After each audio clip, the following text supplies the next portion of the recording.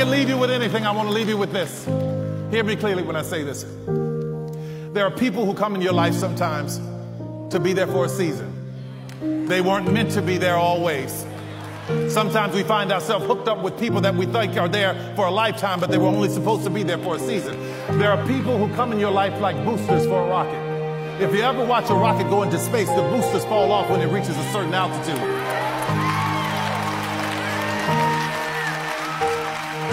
Some people are not equipped to handle the altitudes that you're going to. So don't be afraid when they fall off. They're not bad people. They just couldn't go where you're going.